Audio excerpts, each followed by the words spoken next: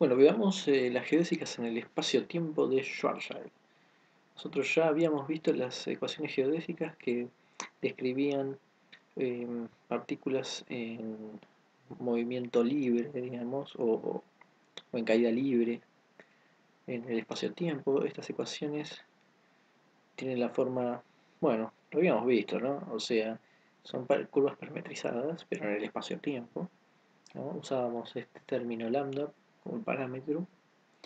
Habíamos hablado de que teníamos geodésicas de tipo de tiempo, cuando ds cuadrado era mayor a cero, este, donde d tau era distinto a cero, describían este, este tipo describían eh, las, los movimientos de objetos masivos.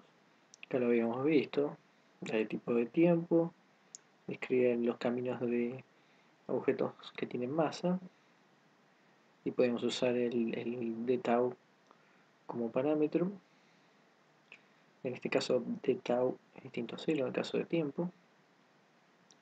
Las geodésicas de tipo nulo donde ds cuadrado es igual a 0 y d tau es igual a 0 describían los caminos de los fotones, ¿no? partículas sin masa, este, y ahí necesitábamos, en ese caso especial, usábamos el lambda, un parámetro especial, en vez de usar el tiempo propio.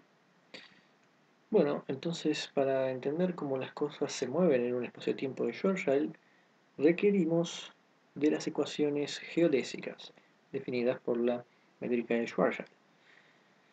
Estas son eh, cuatro ecuaciones diferenciales complicadas. Son difíciles de resolver, no las voy a resolver. ¿no? Este, lleva mucho tiempo y realmente no tiene mucho sentido. Este, nosotros ya en el en otras eh, cuentas que hicimos antes, ya primero tenemos la métrica y después eh, con la métrica podemos saber cada uno de los eh, símbolos de Christoffel necesarios para sacar estas geodésicas en el espacio-tiempo de Schwarzschild. Bueno, estas son las cuatro eh, ecuaciones de la geodésica para el espacio-tiempo de Schwarzschild. Pueden ver, son muy complicadas, en particular esta, que es gigante. Por lo tanto, por eso cuando dije que es cuentoso, es cuentoso sacarlo. Pero bueno, acá las tenemos y como se puede ver, hay muchos términos conocidos de la métrica Schwarzschild como gmr cuadrado c cuadrado 1 menos 2 gms cuadrado r se repite varias veces acá, este, acá. Así que lo que vamos a hacer es introducir eh, algunas mm, identidades, digamos, que va a hacer que estas ecuaciones sean más fáciles de leer. Por lo estas cantidades van a ser las unas eh, constantes de movimiento, o sea, son unas cantidades que van a estar conservadas durante el, movimiento de lo que sea que esté haciendo lo que se mueva, o sea, el cuerpo, lo que sea, se van a conservar. Vamos a ver entonces cuáles son estas constantes de movimiento. Bueno, la primera constante va a ser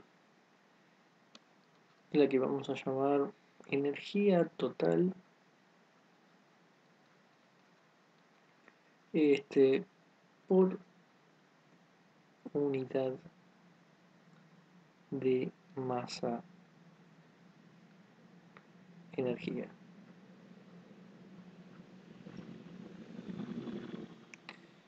E sobre mc cuadrado va a ser esta expresión que se repite bastante en las ecuaciones. Esta va a ser una. Otra va a ser j sobre m igual a r cuadrado seno cuadrado tita d phi sobre dr. Este, los objetos, ya sea un planeta orbitando o lo que sea, este, que se mueven alrededor de un punto, tienen una cantidad que se llama momento angular. Eh, es análogo al momento este, ordinario, entonces esto va a ser este, el momento angular este, por unidad de masa. Por ahora no nos vamos a preocupar mucho por qué significan estas ecuaciones. La importancia por ahora va a ser que describen cantidades que se conservan. Las podemos usar para describir este, el movimiento de una partícula en caída libre de masa m, en, por ejemplo, en un plano constante θ igual pi sobre 2, en el espacio-tiempo de Schwarzschild. Entonces, justamente, este, el movimiento eh, de una partícula en caída libre de masa m en un plano constante θ igual pi sobre 2 en el espacio-tiempo de Schwarzschild va a estar eh, descrito por eh, una ecuación que se va a deducir de lo que vimos más estas condiciones y utilizando estas constantes de movimiento que va a ser eh, la ecuación de movimiento radial. Esta ecuación de movimiento radial va a ser dr de tau cuadrado más j cuadrado sobre m cuadrado, ya podemos ver que van a aparecer las cantidades este, conservadas. 1 menos 2 gmc cuadrado r menos 2 gm r igual a c cuadrado y acá aparece la otra cantidad conservada e sobre mc cuadrado todo al cuadrado menos 1 si bien otra vez no es una ecuación sencilla va a ser útil porque describe el movimiento de una partícula en caída libre en un eh, espacio-tiempo de Schwarzschild. Entonces, por ejemplo, se pueden usar para derivar las ecuaciones eh, del movimiento de órbita, Por ejemplo, el movimiento de algún astro, la luna, por ejemplo. Según ciertas condiciones uno puede simplificar la ecuación. Por ejemplo, si estamos en un movimiento de caída libre de un objeto, entonces es radialmente hacia adentro, lo cual significa, bueno, podemos considerar que no tiene momento angular y automáticamente j igual a 0. Nos olvidamos de este término, por ejemplo. Segundo, si el objeto está en reposo y, por ejemplo, infinitamente lejos de la masa central m, entonces eh, la, conservación de la energía por esta ecuación va a ser eh, Minkowski, E igual a mc cuadrado, pues el plano, porque justamente estamos infinitamente lejos de la masa central m grande. Este, y entonces, bueno, lo que va a pasar en esta ecuación es que el término de la derecha se va a hacer cero. O sea, queda este término y este término. Bien, por ejemplo, Mostremos que para un objeto que está en caída libre radial, o sea, tenemos una masa gigante m, que es la que distorsiona el espacio, y tenemos una masa más chica, un cuerpo que está cayendo radialmente hacia la masa. Bueno, la idea es ver que, em, que la ecuación se reduce a esto, ¿no? la ecuación que teníamos se va a reducir a esto. O sea, que caiga, esté en caída libre radial significa que el objeto se está moviendo hacia abajo, ¿no? en este sentido, y eso significa que eh, el phi es constante. Que phi sea constante significa que d phi de tau es igual a cero y obviamente al no haber movimiento en phi j es igual a 0, momento angular. Y bueno, y entonces la ecuación que vimos antes, esta, j va a ser igual a 0, así que esto va a desaparecer. Entonces se va a reducir a dr sobre d tau al cuadrado igual a c cuadrado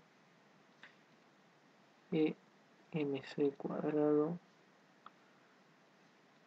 al cuadrado menos 1 más 2 gm sobre r. Entonces está bien porque este desapareció y lo único que hice fue pasar este hacia el otro lado. Esto es lo que obtuvimos. Lo que vamos a hacer es eh, diferenciar con respecto a tau. Si uno hace primero, por ejemplo, el, lado izquierdo de la ecuación, de la igualdad, este, lo que habría que hacer es la regla del producto. Eso nos va a quedar que esto es d cuadrado r de tau cuadrado de r de tau más cuadrado r de tau ¿no? derivada segunda función de tau derivada en función de tau ¿no? y esto es 2 veces la derivada r función de tau derivada segunda derivada r de este tau. Bien, el lado izquierdo lo podemos llamar x nada más para notación. x va a ser todo el lado izquierdo. C cuadrado y sobre mc cuadrado todo el cuadrado menos 1 más 2gm y esto lo tenemos que derivar o diferenciar este, en función de tau. Entonces dx de tau va a ser, bueno, para saber cuánto es esto, lo primero que vamos a hacer es un pequeño truco que es, en vez de sacar en tau, hacemos en r, eso nos va a dar menos 2 gm r cuadrado, el primer término no depende de r, y lo que vamos a hacer ahora es, si cada uno de estos es un infinitesimal, multiplicamos por este, el infinitesimal 1 sobre d tau y el dr pasa para acá. O sea, este dr lo ponemos acá y d tau. Esto se puede justificar, digamos, uno puede suponer que son infinitesimales, pero bueno, si no también uno puede llegar haciendo reglas de la cadena. Entonces uno obtiene que dx de tau es este menos 2 gm, acá me falta un de tau porque de los dos lados puse el de tau, r cuadrado dr de tau. Entonces tenemos por un lado eso, 2, derivada segunda de r de tau, de r de tau, igual a lo que nos quedó recién, 2gm r cuadrado de r de tau. Eso es a lo que llegamos. Una vez más, como estuvimos manipulando los diferenciales, lo voy a hacer otra vez r de tau y los dos los cancelo obteniendo de acá derivada segunda de r derivada. O de yo digo derivada pero podemos también pensarlo como infinitesimales ¿no? es lo que estuvimos haciendo todo el tiempo en definitiva. Y entonces nos quedó lo que este, habíamos dicho que teníamos que llegar. Esta ecuación aproxima a la de Newton en caída libre, que es A igual a menos GMR, con la diferencia que A, va a, ser, a era dt de R, podemos tomarlo, o de X, dependiendo de las coordenadas. Este, segunda, ¿no?